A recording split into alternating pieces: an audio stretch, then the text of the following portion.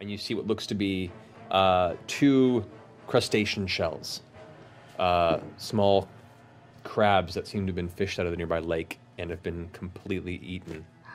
Uh, the inside has been cleared out. Hold for a sec.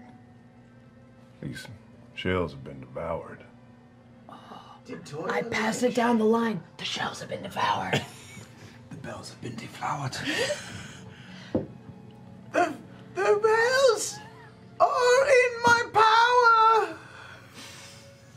The veils are covered in flour.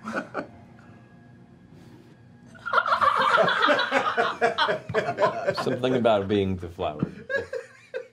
Keep an eye out.